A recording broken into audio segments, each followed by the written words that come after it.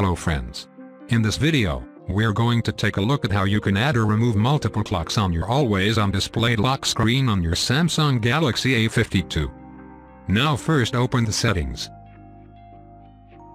Next, we're going to swipe down and tap on lock screen. In here tap on clock style.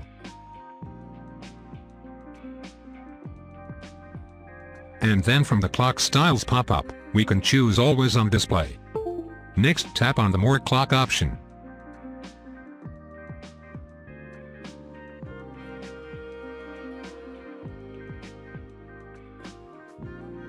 And here you want to choose this one.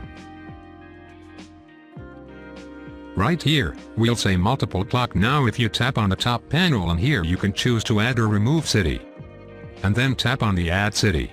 This will allow you to search and add a city. And you can see Bangkok has been added.